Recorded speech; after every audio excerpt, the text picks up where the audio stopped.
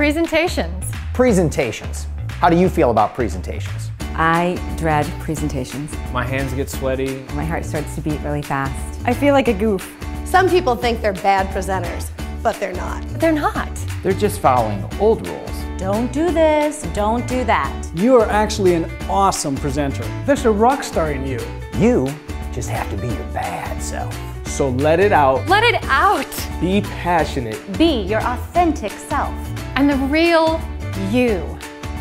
Complete with quirks and rough edges is better any day than some boring polished fake. You are the best bad presenter ever.